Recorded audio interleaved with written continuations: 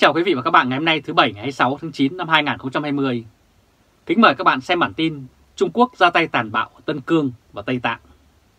Hãng tin Anh Reuters và một trung tâm nghiên cứu Mỹ vào ngày 22 tháng 9 mới đây đã vạch trần chiến dịch đàn áp của chính quyền Đảng Cộng sản Trung Quốc khi hàng trăm ngàn người Tây Tạng bị đưa vào những trại cải tạo, lao động được bao bọc bởi lớp vỏ xóa đói giảm nghèo. Đây chính là chính sách đàn áp tương tự như đối với người Duy Ngô Nhĩ ở Tân Cương. Hãng truyền thông nổi tiếng này đã tham khảo hàng trăm bài viết trên các báo chí chính thức của Trung Quốc, văn kiện chính sách của các cơ quan chính quyền tại Tây Tạng, cũng như các yêu cầu tuyển dụng được ban hành trong giai đoạn từ năm 2016 cho đến 2020. Đây là hình ảnh lính Trung Quốc đi tuần trên một con phố ở Lashan trong thời gian kỷ niệm cái gọi là 60 năm giải phóng Tây Tạng vào hồi tháng 3 năm 2019. Hãng thông tấn Reuters khẳng định Bắc Kinh đang đẩy mạnh kế hoạch đưa ngày càng nhiều lao động nông thôn từ Tây Tạng ra khỏi các vùng đất canh tác để chuyển họ đến các trung tâm huấn nghệ kiểu quân đội vừa được xây dựng. Với chính sách đó, các nông dân Tây Tạng đã bị biến thành các công nhân của nhà máy, tương tự như chương trình đã được áp dụng ở Tân Cương nhắm vào thiểu số người Duy Ngô Nhĩ vốn bị quốc tế lên án là hành vi cưỡng bức lao động. Nội dung giảng dạy trong các trung tâm huấn nghệ dành cho người Tây Tạng là tinh thần kỷ luật và lòng biết ơn Đảng và Nhà nước Trung Quốc để sửa chữa tư duy lạc hậu. Chương trình áp dụng tại Tây Tạng chẳng khác gì điều đã được thấy tại Tân Cương, nơi những người Hồi giáo Duy Ngô Nhĩ bị tẩy não và buộc phải làm việc trên dây chuyền sản xuất của các nhà máy. Theo nghiên cứu, đã có hàng trăm ngàn người Tây Tạng, tương đương với 15% dân số Tây Tạng, đã bị đưa vào các trại huấn nghệ nói trên.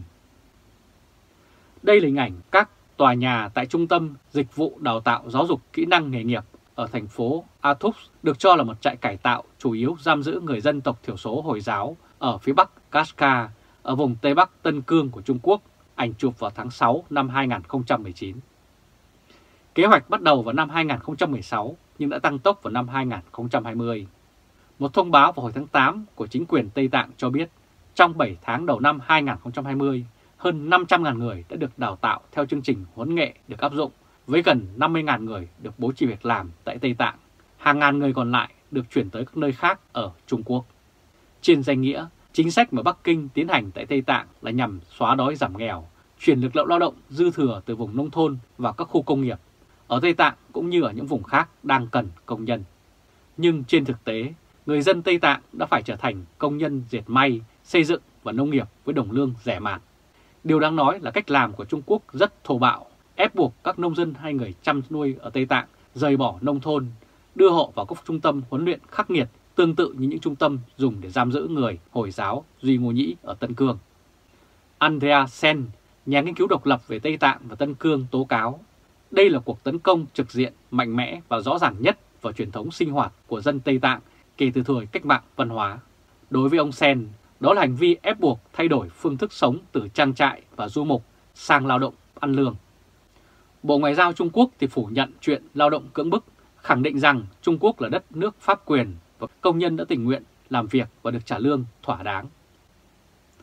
Đây là hình ảnh Bí thư tự trị Tân Cương Trần Toàn Quốc, người lập ra kế hoạch đàn áp ở Tây Tạng và Tân Cương. Truyền thông nhà nước Trung Quốc thì đưa tin chi tiết về chương trình này, mô tả đó là cách xóa đói giảm nghèo cho người Tây Tạng. Điểm đáng chú ý là một trong những người lập ra kế hoạch ở Tây Tạng lại chính là Trần Toàn Quốc, người đã thực hiện chính sách đàn áp người Duy Ngô Nhĩ ở Tân Cương vào năm 2016.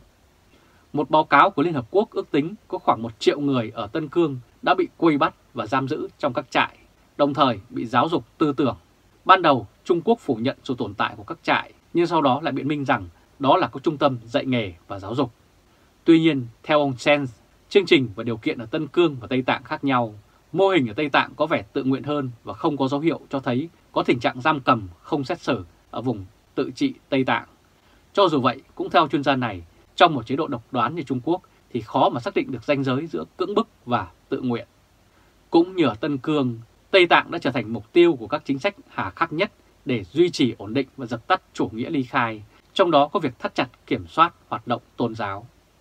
Chuyên gia Sen nêu rõ, trong bối cảnh Trung Quốc gia tăng chính sách đồng hóa dân tộc ít người, các chính sách này về lâu về dài sẽ làm mất đi di sản ngôn ngữ, văn hóa và tinh thần.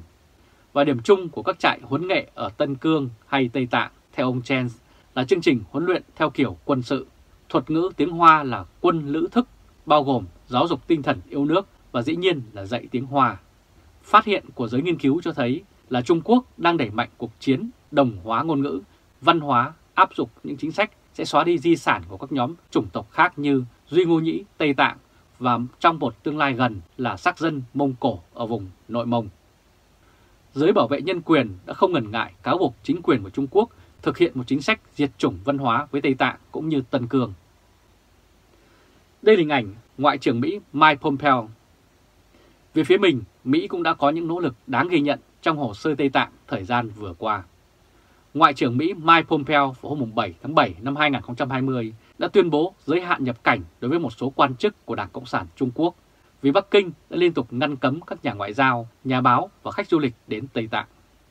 Trong thông cáo, Ngoại trưởng Mỹ coi các hành động ngăn cản là sự vi phạm nhân quyền ở Tây Tạng, nhấn mạnh rằng Hoa Kỳ cương quyết ủng hộ quyền tự trị đúng mực của người Tây Tạng và tôn trọng các quyền căn bản của họ. Thông cáo cũng viết, Hoa Kỳ tìm kiếm sự đối xử công bằng, minh bạch, nhưng Bắc Kinh cản trở một cách có hệ thống việc đi đến khu tự trị ở Tây Tạng. Việc tiếp cận này là quan trọng đối với sự ổn định khu vực, do Trung Quốc vi phạm các quyền của dân địa phương để mặc môi trường đầu nguồn của con sông bị suy thoái. Washington cũng khẳng định cần phải bảo tồn bản sắc, tôn giáo, văn hóa, ngôn ngữ của người Tây Tạng. Và dự luật bảo vệ Đạt Lai Lạt Ma là lãnh đạo Phật giáo Tây Tạng cũng được giới lập pháp của Mỹ tính đến. Đây là hình ảnh lãnh đạo tinh thần Tây Tạng Đạt Lai Lạt Ma trong một buổi thuyết giảng ở Ấn Độ vào ngày 4 tháng 1 năm 2020. Chính quyền Mỹ có thể phong tỏa tài sản và cấm nhập cảnh tất cả các quan chức Trung Quốc nào tìm cách nhận diện và đưa lên ngôi một Đạt Lai Lạt Ma mới do chính quyền Bắc Kinh duyệt xét sau khi thủ lĩnh tinh thần Tây Tạng qua đời. Theo truyền thống, người Phật giáo Tây Tạng chọn Đạt Lai Lạt Ma theo nghi thức riêng có thể kéo dài nhiều năm thông qua một ủy ban có nhiệm vụ tìm kiếm một trẻ em có dấu hiệu là Đạt Lai Lạt Ma đầu thai. Tenzin, tức là Đạt Lai Lạt Ma thứ 14 hiện nay, đã giảm hẳn các cuộc di chuyển và phải vào bệnh viện vào hồi tháng 4 năm 2019 vì viêm phổi, nhưng ngài cho rằng sức khỏe vẫn tốt.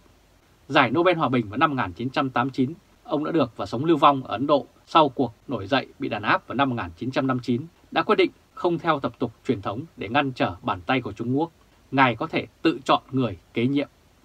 Các nhà đấu tranh ở Tây Tạng và Bắc Kinh đều biết rằng một khi Đạt Lai Lạt Ma thứ 14, vị sư nổi tiếng nhất thế giới đã qua đời, niềm hy vọng Tây Tạng được tự trị cũng có thể mất theo.